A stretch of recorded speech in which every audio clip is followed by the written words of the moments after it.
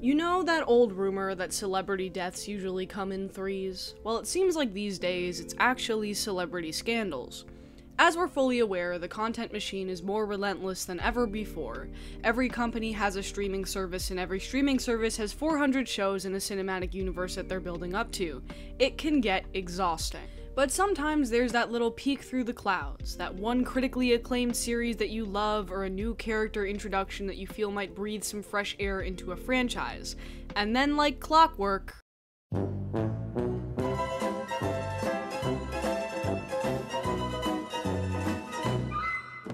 This sucks. I mean, there's kind of no way around how much it sucks, and it's easier to sort of close your eyes and feign ignorance and pretend that you haven't heard the news that an actor from one of your favorite TV shows or movies is a shitty, shitty, awful person. And hey, maybe it doesn't matter because you're one of those people whose consumption of media isn't impacted by this type of thing. Is that the right way to go about it at this point? Does it depend on what the company does in response? I see arguments on both sides, really, and I've had a changing opinion on it over time.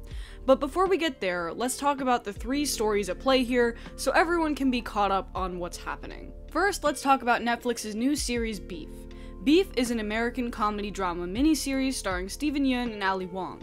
I haven't watched it, I heard it's very good, but it's about two characters who are pitted against each other after a road rage incident. The cast also features actor David Choe, who has gotten in some hot water over the last few weeks. Forgive me here, I have to use this god awful self censor language going forward because I don't want to get age gated, but basically, some comments resurfaced that Choe made on a podcast in 2014. In said podcast, Choe detailed a story about how he, quote, successfully R worded a massage therapist. I won't read all of it out loud, but here's a transcript of what he said. Pause to read.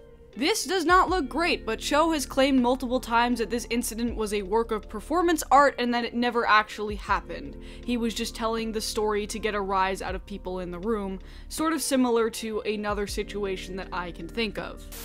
I didn't fuck my cat. I didn't come on my cat. I didn't put my dick anywhere near my cat. I've never done anything weird with my cats.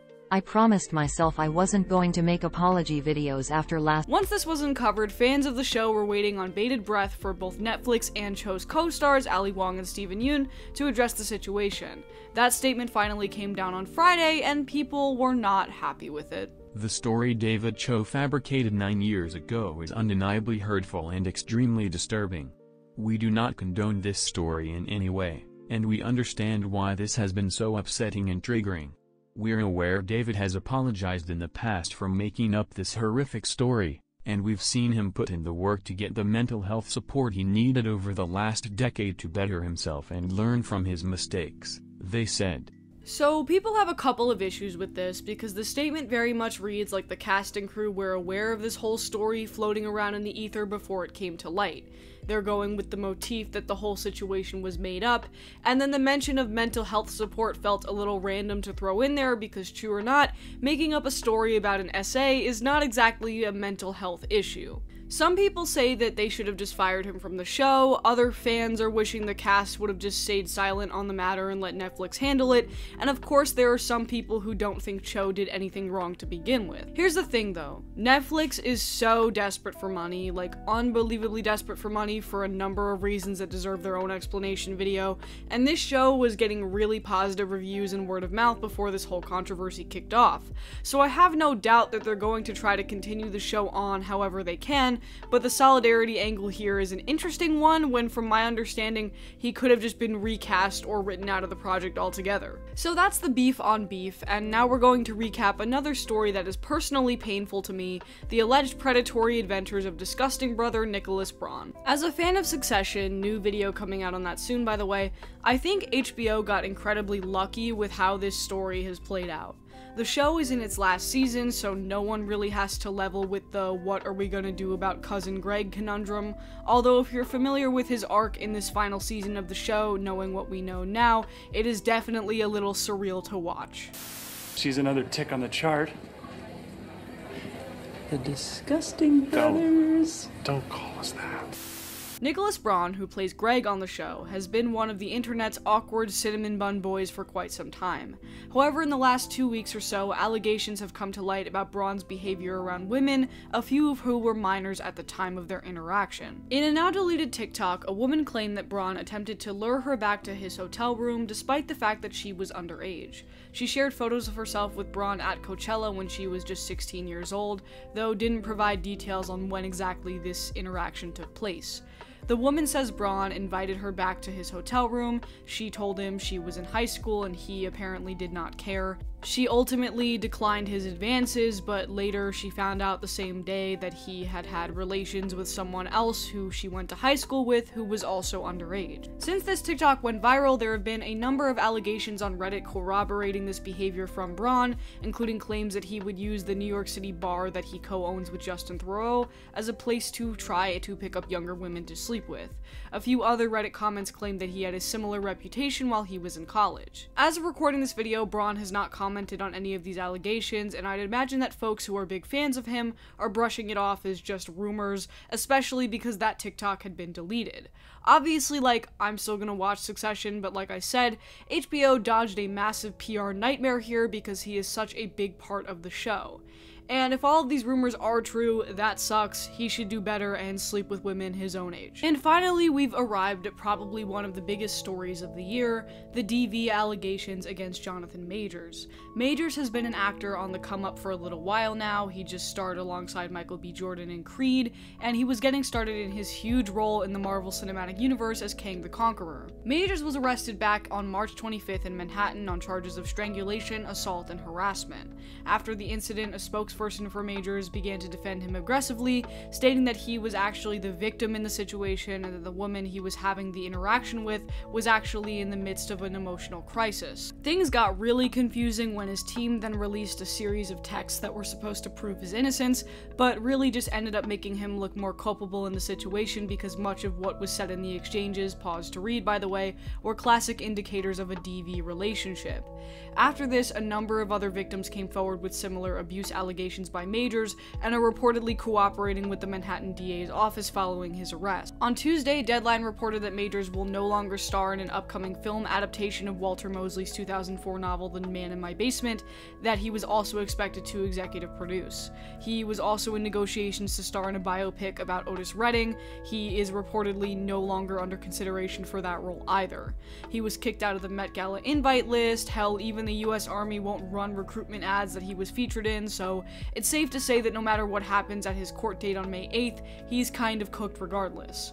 However, there has been radio silence from Disney about whether or not they're going to recast him as Kang.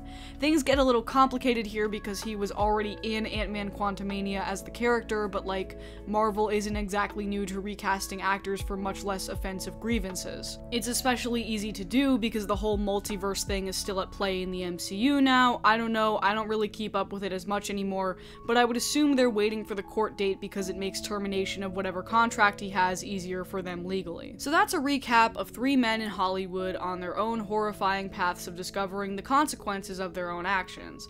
And that's not to say that this doesn't happen with women in Hollywood as well. I mean, Tiffany Haddish and Melanie Martinez are two examples I can think of off the top of my head. And I don't know, man, I've covered allegations on this channel before. I think this is just a cycle that is going to keep happening over and over again because ultimately it's about power and having status in Hollywood and the entertainment world is about the power dynamics that you have over others and whether or not you ultimately choose to weaponize that. Nothing has really changed after the Me Too movement if you think about it. We still see the same stories popping up everywhere. The only difference now is that corporations are faster to respond to it publicly because the online shitstorm that comes from this stuff usually makes them look pretty bad.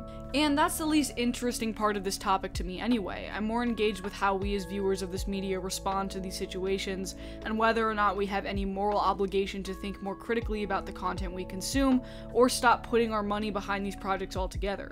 I go back and forth on whether or not it actually makes a difference. For example, a few months back, I made a stance on not watching Dahmer because I think unethical true crime content does harm to real victims, especially because the families who were victimized by Dahmer wanted nothing to do with the series. That's a stance I still stick by, but I feel like it gets more complicated when you have the option of whether or not to engage with content like Beef or Succession that was not built with any of that real life framework in mind, you know? Like, those shows were purely made for fictionalized entertainment, and these are just real world circumstances affecting the show's production after the fact.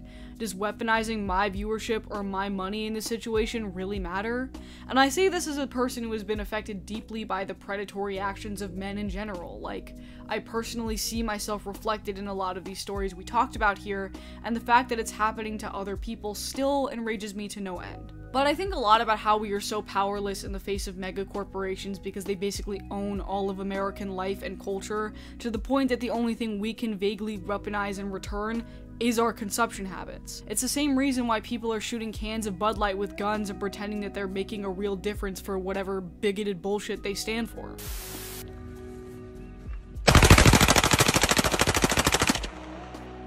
I don't know, man. Life is weird. This stuff is complicated, but I'm glad that you're here. And if you've been affected by SA or DV, there are resources in the description for you down below. That's all for me this week, guys. Like I said, I had to take a little more time on my Succession video, so that should be out sometime next week. But please like and subscribe and follow me on Twitter, and I'll see you next time.